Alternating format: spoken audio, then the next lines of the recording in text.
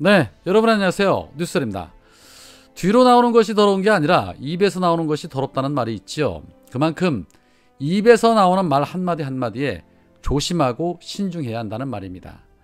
사전투표가 역대 최고치를 기록하고 있는 가운데 마음이 급해진 윤석열 이제 입에서 더러운 배설물을 생각 없이 막 내뱉고 있습니다.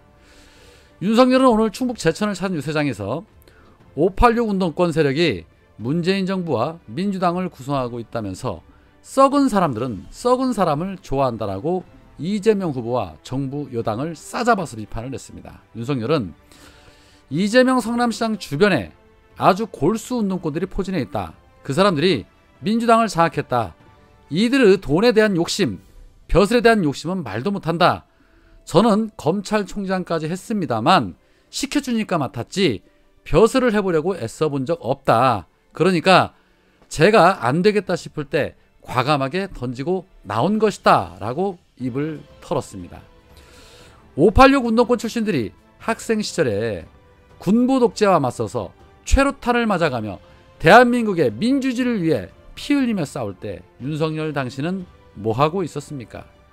술이나 처먹고 행여나 본인 잡으러 올까봐 도망갔던 자 아닙니까?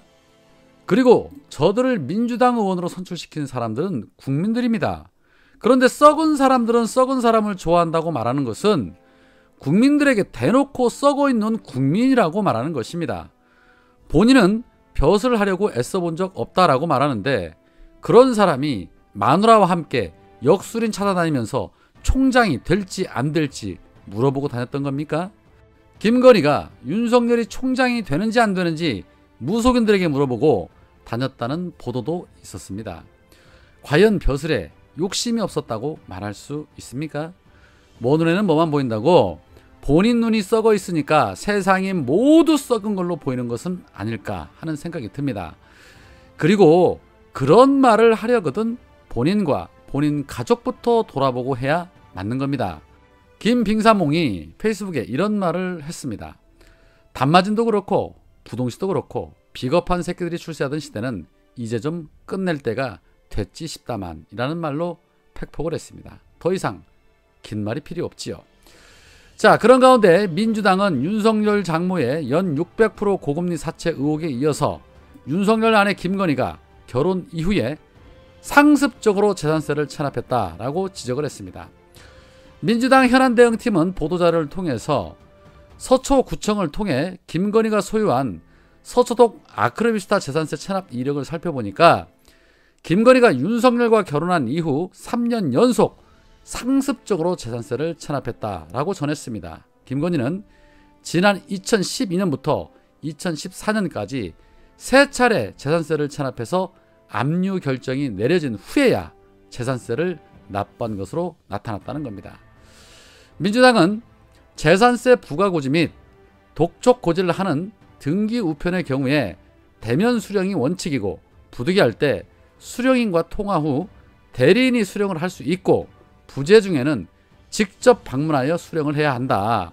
김건희가 체납 사실을 알고도 지속적으로 세금 납부를 회피했을 것이라는 지적이 여기에 있는 이유다라고 설명을 했습니다. 나아가서 김건희의 상습 세금 체납은 2012년 결혼 이후부터 나타난다.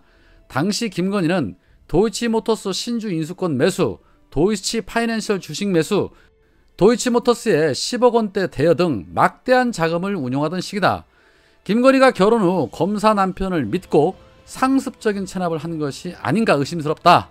학력이죠, 경력이죠, 주가 조작도 모자라 세금 체납에 늑장 변제까지 검사 남편 뒷배로 습관적인 위법 행위를 일삼는 모습은 경악할 일이다. 법 의식이 저리도 처참한 분이 대한민국 대통령 후보 배우자라는 것이 우려스럽다라고 말했습니다. 이에 대해 국임당은 당시 살던 아파트에 다른 동으로 이사를 갔고 예전 주소지로 재산세 고지서가 발송이 돼서 고지서를 받지 못한 것이다 라는 해명을 내놨습니다.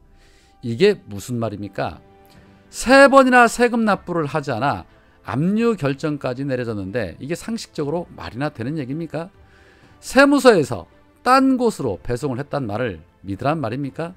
그것도 결혼하고 난 이후부터 그랬다라면 검사 백 믿고 버틴 거 아니냐는 의혹도 생길 수 있고 두 집 살림한 거 아니냐는 의혹도 생길 수 있는 부분인데 명확한 해명을 해 주시기 바랍니다. 본인 변도 제대로 못 닦는 자가 누구에게 손가락질하며 썩은 사람이라고 비판을 합니까? 지나가는 소가 웃을 일이죠. 이런 자가 대선 후보입니다. 그러니까 아무리 그래도 그렇지 윤석열은 아니잖아 라는 말이 나오는 겁니다. 내로남불의 끝판왕 윤석열 청와대가 구판이나 술판이 되게 만들 수는 없지요. 검찰 공화국이 되는 거 절대 볼 수 없습니다. 추미애 전 장관님이 페이스북에 이런 말을 합니다. 사정정국이 일상화되는 검찰공화국 막아야 합니다. 라는 제목 하에서 눈 한 번 깜빡하지 않고 천연덕스럽게 거짓말을 하는 부부입니다. 정말 무섭습니다. 노무현 영화 보고 2시간 동안 울었다. 제가 제일 좋아하는 분이었다. 이는 윤석열 부부의 위선입니다. 노무현 대통령이 돌아가시고 난 이후로도 이명박 정부의 검찰은 고인과 가족에 대한 정보를 모으고 들여다 보았던 것입니다. 윤석열 검사는 그 라인에서 고인의 딸을 수사 기소도 했던 핵심 인물입니다. 수사 정보를 수집하는 대검 범죄정보 담당관, 대검 중수부 과장, 중앙지검 특수부장을 하는 3년 동안 작성된 사찰 문건이 무려 21건입니다. 이는 첫째, 고인의 가족에 대한 이명박의 하명 수사, 정치보복 수사였고, 둘째, 타이밍을 노려 정치적으로 활용을 했고, 셋째, 국정원 민간인 사찰은 불법인데도 불법을 막아야 할 검찰이 오히려 적극 내통하고 관여했다는 점입니다. 고인의 사위 곽상은 변호사가 밝힌 내용입니다. 윤석열 검사는 고인의 사후 공소권 없는 봐서는 안 되는 보안 유지 기록을 부관 참시하듯 다시 뒤지고 사자의 명예를 훼손하려 했으며 가족을 괴롭혔습니다. 검찰공화국은 이렇게 조작과 공작을 아무렇지 않게 저지릅니다. 검찰공화국이 된다면 무서운 사정정국이 일상화 될 것입니다. 라는 말씀을 하셨습니다. 그렇습니다. 여러 차례 말씀을 드렸지만 전 국민의 사찰화가 시작이 될 것입니다. 마음에 들지 않는 단체, 마음에 들지 않는 사람, 전부 계좌 털리고 가족 정보 털리고 사찰을 당해도 수사기관이라는 법의 테두리 안에서 저들은 더욱더 무소불위의 권력을 휘두를 것입니다. 정말 생각만 해도 끔찍해집니다. 정권 교체를 해야 한다고 저들이 언론을 통해서 주구장창 떠들어대니까 정치에 큰 관심 없는 사람들은 그저 뭣도 모르고 정권 교체해야 하나 보다라는 사람들이 있습니다. 정권 교체해서 검찰 공화국을 만들려는 것도 모르고 말이지요. 검찰 공화국은 군부 독재보다 수십 수백 배 더 위험합니다. 나라 망합니다. 그런 일이 발생하지 않아야 합니다. 투표 안 하신 분들 9일날 투표하실 텐데 그런 불상사가 발생되는 일은 반드시 막아야 합니다. 지금은 국가의 큰 위기입니다. 이 위기를 기회로 만들 사람 오직 이재명밖에 없습니다. 오늘은 여기까지입니다. 고맙습니다.